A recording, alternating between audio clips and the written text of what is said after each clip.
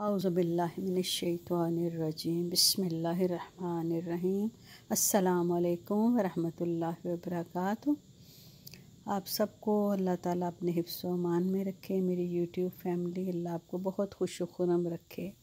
कोई गम ना दे सिवाय गम हुसैन अलैहिस्सलाम के। तो जनाब, बातें ये हो रही हैं कि ये जो जगह है ना, जो आप देख रहे हैं, हिल साइड बड़ी मज़े की जगह एक महीना मैंने यहाँ गुजारा, बड़ी खूबसूरत जगह है। मैंने सोचा चलो आपसे भी शेयर करती हूँ। अच्छा रमज़ान भी आ गया था। बड़ा मुझे अफसोस होता है ये बात देख कर कि लोग रोज़े तो रखते हैं भाई अपने लिए, तरावी पढ़ रहे हो अपने लिए, ठीक है? लेकिन दूसरों पे एहसान करते हैं। हाय, तुमने इतना थोड़ा कुरान पढ़े, हाय, तुमने ये रोज़ा नहीं रखा, हाय, तुमने यूँ नहीं किया। भाई, देखो अगर इबादत कर रहे हो तो अपने लिए। दूसरों की ज़िंदगी मुश्किल ना करो।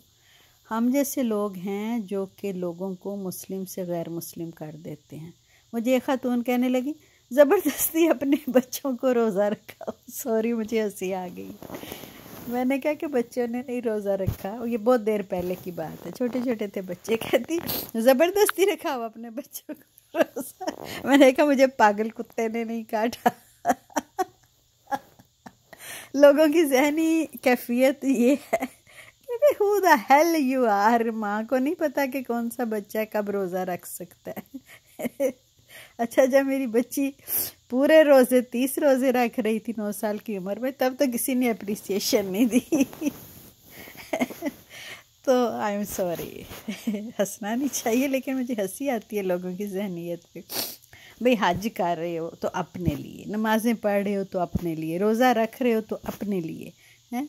आज मैं किताब पढ़ रही थी, वही कससुलम्बिया तो उसमें एक जो रवायत है कि हज़रत दाऊद सलाम से अल्लाह ताला ने फरमाया कि सिद्दीक़ों को डराओ और गुनागारों को खुशखबरी दो। पूछा, या अल्लाह, वो क्यों?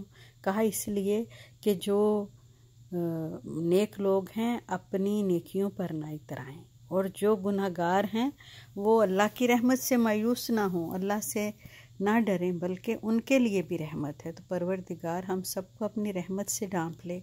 हम गुनाहगार हैं पता नहीं किसके अमाल कबूल हैं।